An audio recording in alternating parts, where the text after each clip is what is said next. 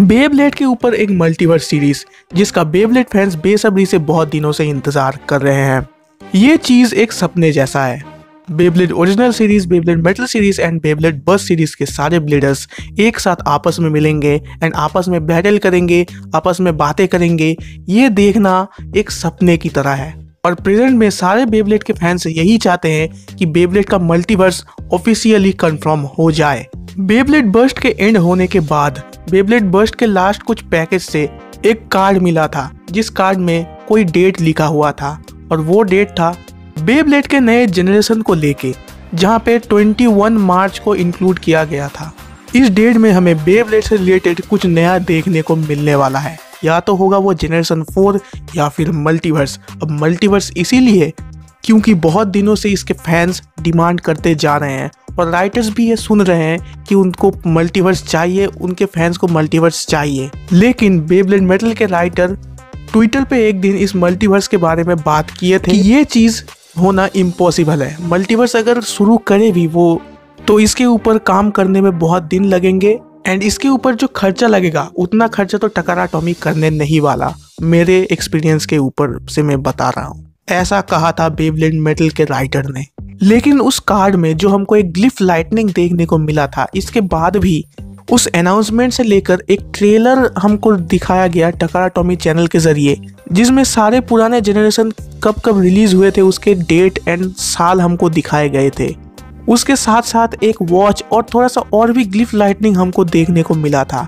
तो अगर आपको नहीं पता कि ये ग्लिफ लाइटनिंग क्या होती है तो ग्लिफ लाइटनिंग से लोग ऐसा जज कर रहे हैं कि मल्टीवर्स आने वाला है। और टकारा टॉमी हमको यही हिंट देते जा रहे हैं कि हाँ वो मल्टीवर्स लाने वाले हैं। लेकिन क्या वो सच में मल्टीवर्स लाने वाले हैं? या फिर वो हमारा काट रहे हैं? अगर आप स्पाइडरमैन के फ़ैन हो तो आपको पता ही होगा स्पाइडरमैन अक्रॉस द स्पाइडरवर्स के ट्रेलर में बहुत जगह ग्लिफ लाइटनिंग है, जो ग्लिफ लाइटनिंग मल्टीवर्स को टारगेट करता है। तो बेबलेट कंपनी टकरा टॉमी भी, उनके ट्रेलर में ऐसे ग्लिफ लाइटनिंग का इस्तेमाल कर रहे हैं। हमारा काटने के लिए या फिर सच में सच में वो मल्टीवर्स लाने वाले हैं ये दिखाने के लिए। तो इसमें अगर हम डीपली सोचने जाएँ तो चीज़ें और भी कॉम्प्लेक्स होते हमको दिखाई दे रही है। एंड जस्ट अभी कुछ ही दिनों पहले बेबलेट जनरेशन फोर से रिलेटेड एक लीक निकल के आया। जिसमें बेबलेट जनरेशन फोर में जो मेन कैरेक्टर होगा, उसका नाम रिवील कर दिया गया। ये सुनने के बाद बहुत सारे ब्लेडर्स के मन में एक डिसअपॉइंटमेंट आ गया।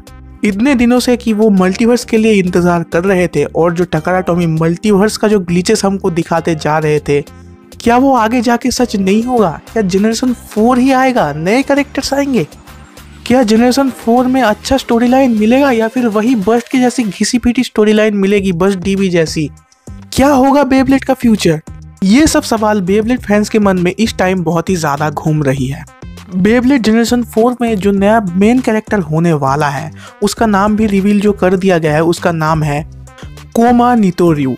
अब मैंने इस नाम में एक हिडन डिटेल ढूंढा है। आप लव सभी लोगों को लगेगा कि ये एक नॉर्मल सा नाम है जो नए कैरेक्टर का होने वाला है, नए मेन कैरेक्टर का। लेकिन नहीं, अगर आप इसमें भी डिटेल निकलने जाएँ तो आपको ये डिटेल दिखेगा। इस नाम के लास्ट में जो सर नेम में आपको एक रियू दिखेगा Ryu word R Y U अब जापानीज में रियू का मतलब होता है ड्रैगन जैसे कि रायुगा का भी नाम में आर वाई यू से शुरुआत होता था इसके भी नाम के लास्ट में आर वाई यू है। इसी वजह से रायुगा को ड्रैगन बेबलेट मिला था तो क्या इसको भी ड्रैगन बेबलेट मिलेगा? क्या ये भी ड्रैगन बेबलेट का यूज़र होगा? खैर ये तो हमको नहीं पता है। और ये एक थ्योरी है जो मैंने बनाई है। इसके पास ड्रैगन बेबलेट हो भी सकता है, नहीं भी हो सकता है। मेरी बात पे पूरा मत जाओ। मुझे जो लगा कि ऐसा हो सकता है तो मैंने आपको बोल दिया। अब वो आपको कितना सच लग रहा है, ये आप मुझे कमेंट सेक्शन में ज़रूर बता देना। लेकिन क्या यही आएगा? मल्टीवर्स नहीं आएगा क्या? इतना ज़्यादा डिसअपॉइंटमेंट मिलेगा हम सबको? तो रुको यार, मेरा इसके ऊपर भी एक थ्योरी है, क्योंकि टका टॉमी इतने दिनों से हमको मल्टीवर्स के ग्लिचेस दिखाते जा रहे हैं तो मुझे ऐसा लगता है कि जनरेशन फोर मल्टीवर्स को एक्सप्लोर करेगा।